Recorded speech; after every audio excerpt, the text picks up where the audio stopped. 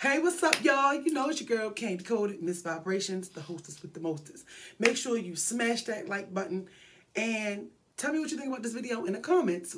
Today, I'm going to review Megan Thee Stallion in her words, okay? I watched the documentary today. I wanted to get this out. And then, you know, after that, I'm going to head on over to TikTok. So you can always find me on TikTok. Candi Coated Secrets on TikTok. Make sure you go there. That's where I be at. And um, put it in the chat. Let me know what you think about the documentary. How you feeling? What you rate the documentary. Uh, so let's just get right into it. So in the beginning of the documentary, um, they show you glimpses and pieces, basically what we saw on the trailer, you know, of her life. She takes us all the way back to, um, she starts from the year 2000, from when she was a little girl. She talked about how her mom rapped, how she remembered being a little girl watching her mother rap and it just inspired her. She her mother was thick and curvy, and she just felt like her mother was the baddest in the whole world, and she looks so beautiful. And her mother is who inspired her to start rap because she said when she would go to school, she would sneak in her mother's room, and her mother would be writing writing songs down. So my partial of this documentary is also in anime. Y'all know Megan loves anime. I didn't know Megan loved anime, but I found out she liked anime per a friend and now I see it. So half of it is in anime and then, you know, the most majority of it is in real time with like pictures of her, footage of her talking. She shows us her graduating from college, um, which was really cool to see that she graduated from college. She also takes you with her from her mom passing away and stuff like that.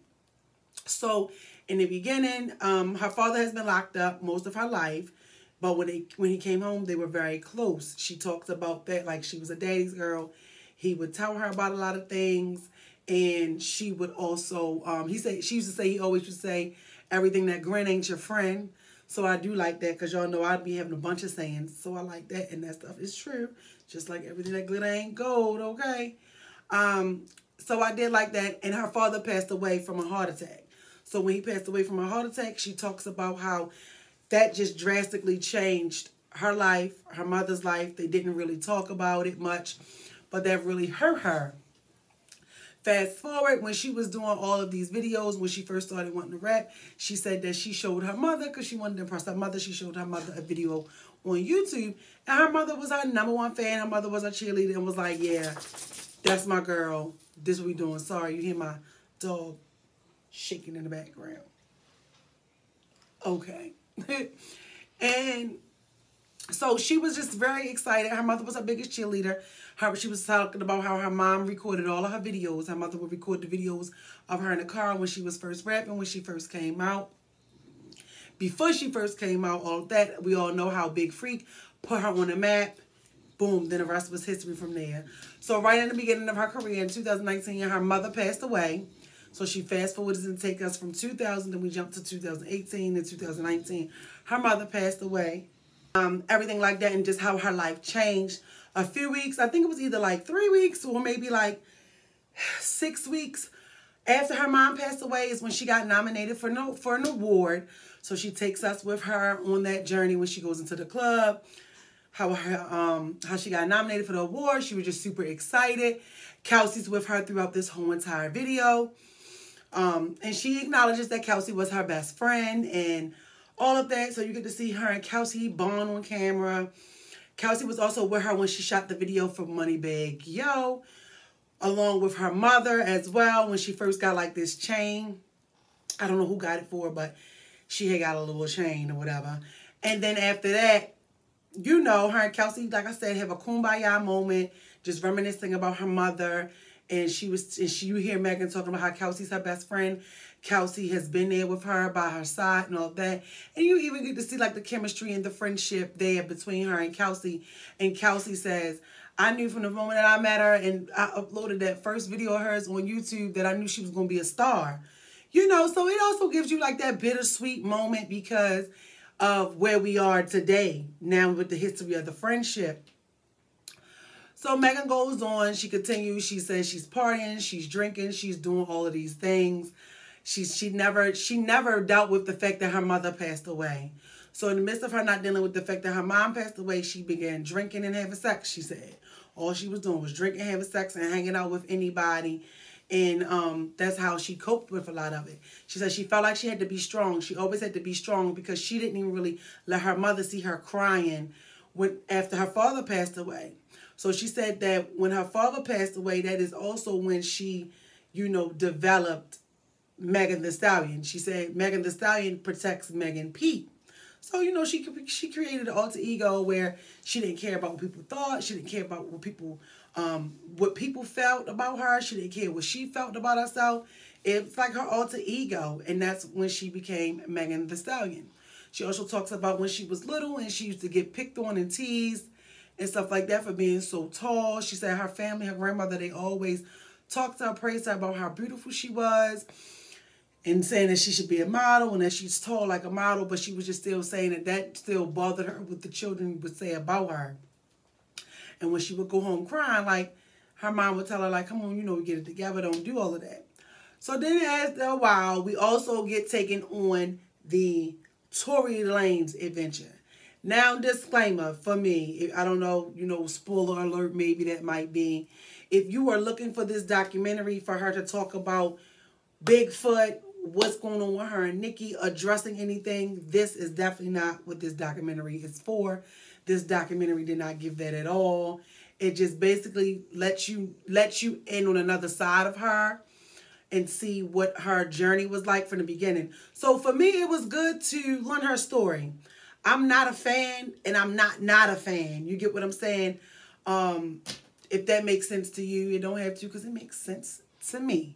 So I mean, I've listened to her songs. I like some of her songs. I don't have anything against, you know, Megan Thee Stallion. I just feel like her song doesn't have a lot of replay value for me. And um, I just don't be like, yeah, let's put on some Megan. That's not, I've never been, I've never been that. But I definitely think she makes good songs. I like her mixtape music before she came up. I like all of that stuff. But I'm just not big on Megan Thee Stallion outside of that, you know, she shows, you know, how she wanted to always do a song with Beyonce. She got that moment. She also showed clips from Hot Girl Summer, and I was laughing because I'm like, oh, okay.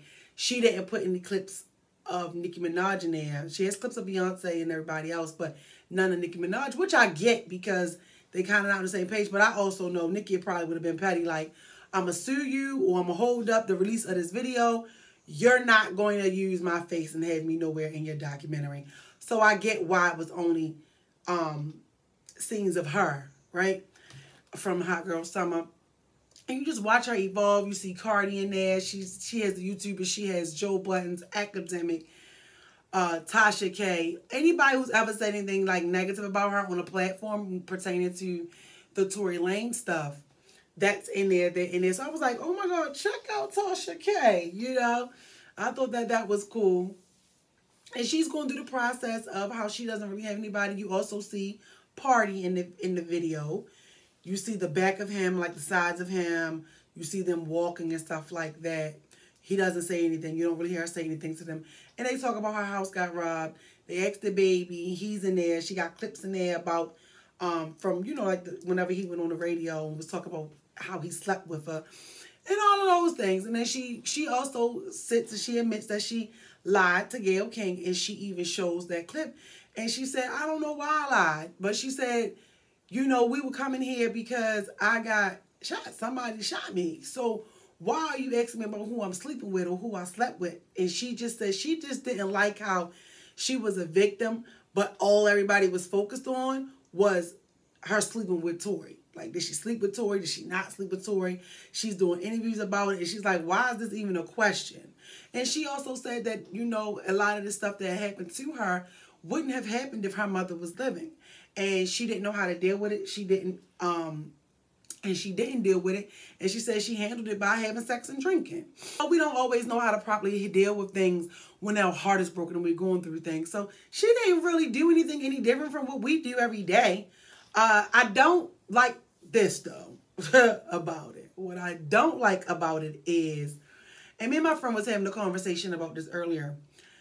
If somebody asks you how you doing or how you feeling, or if there's an issue between y'all and they come to you and they ask you about it, and you aren't being honest saying, well, this is the issue. This is how I feel about it.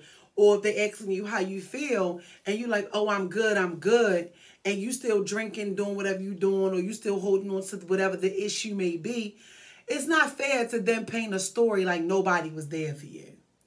And and I and I get it, because me and my friend was like, you know, going back and forth about this um earlier. And it was pretty cool because with some interesting, you know, perspectives on it.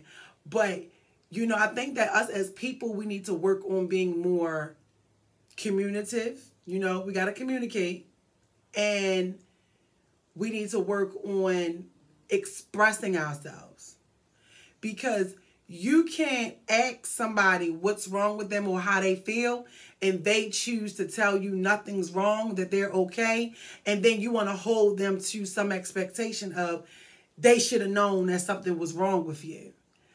I get if this your best friend and you know you saying she your best friend. I think that their situation actually went and got kind of ugly because I remember Megan getting on getting on um live saying that Kelsey was not our best friend. Was never our best friend. She only had one real best friend, and this is this, this, this, this. And she showed that. So it is kind of like a lot that's going on, and you know, from what the things that have transpired that we've seen now over the course of time to, you know, Megan Thee Stallion in her own words. You know what I'm saying? So I'm like, girl, just admit, you know, y'all was being petty towards each other.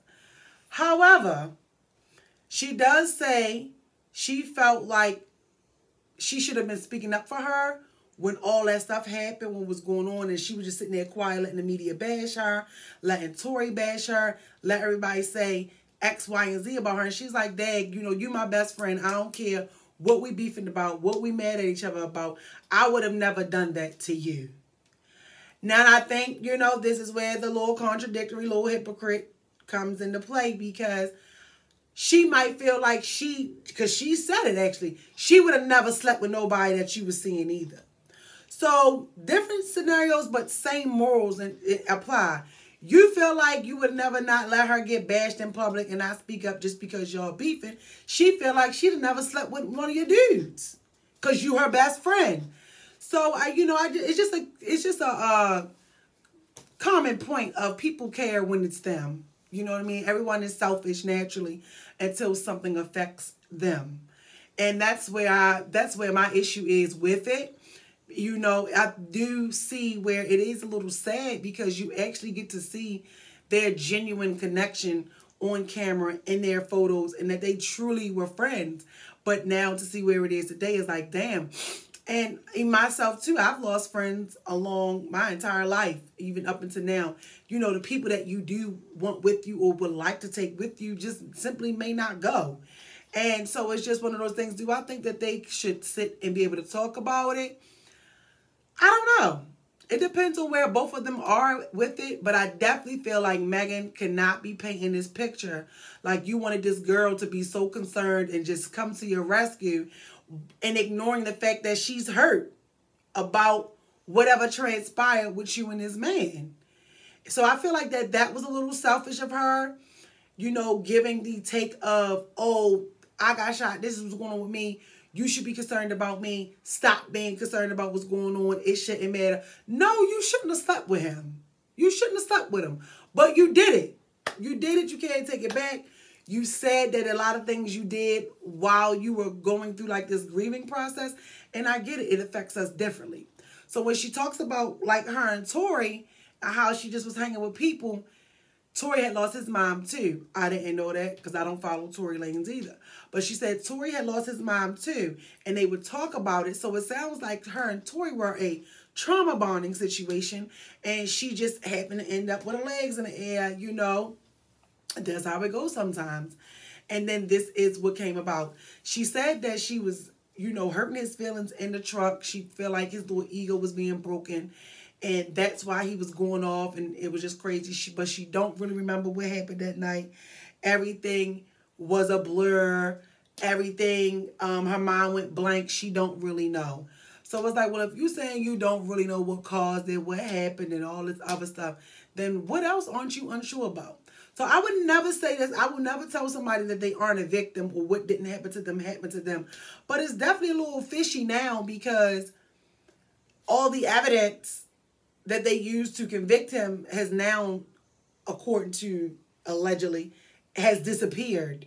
You know, so I just feel like it was just a big mess. I think there's a lot of lessons to be learned in there. She was only like 23, 24, whatever at the time. So I understand, you know, being young, dumb, and full of cum and just making mistakes because I believe we all have made them. She's about to be 30, you know. And so hopefully she can just look back on this moment when she gets you know, more wiser and further on and say, Dag, I had to take some accountability that my friend did feel away because she did just learn that I slept with her dude. So it's, it's just one of those things. Now, don't get me wrong. You got some friends out here who are okay with their friends or, and best friends sleeping with their dude. I know several. However, what floats for you don't float for the next person. I couldn't be your friend and you just slept with my man. Like my best friend, I feel like best friends have a whole nother title. That's like a sisterhood. That's like more like family. So I can't say you are my sister and you slept with my man or somebody I was seeing. No. Both of y'all gotta go at this point. I'ma forgive you, I'ma forgive him, but we can't be we can't be friends no more. But some people do it. You know what I mean? You know, a lot of people do it. I know when I was growing up and I found out that some people did it and they were friends and still friends to this day. It used to shock me, but I was like, hey, you know, I just think that sometimes the company you keep speaks to who you are. And um I don't know. I definitely feel like Megan needs to take more accountability when it comes to the friendship portion with her and Kelsey. I think it was a situation that went out of line. They, they all of them were dragging each other online, and I feel like that that is probably why she went forward because she was saying that she didn't want to say, well, you know, what happened to her right away because she was afraid for him because a lot of things have been going on with, you know, police brutality, police unaliving people, and she didn't want that night to go bad. And um, you know, so I I get that too. But she said when they came to her with the X-rays and showed her, like, no, you didn't step your foot on glass. You have um, bullet fragments in your foot. She came out and said what happened, but it sounds like she came out and said what it was because Tory was was poking at her online. Y'all y'all remember that? And then the documentary ends. She shows you her going to court, and then it ends with her talking about um, how she, you know, she went to a retreat for a month. She finally had a breakdown where she went away for a month then she came back. She's come back fully rejuvenated. And now she's in the era of she don't give a F. She don't care what you think about her. She don't care what you guys say. She going to do what she want to do her way. Excuse me. Her way only. She doesn't care. And she's like a snake. She shut it off all that old skin. She shut it off the past. And now this is what you're to get. You can hate it or love it. And she don't care. And then it ends. I don't like that. The ending was trash. Um, the whole docu, the whole documentary, if I have to give it a 10 out of a 10, if I have to go 10, you know, give it 1 through 10, it definitely gets a 3 for me.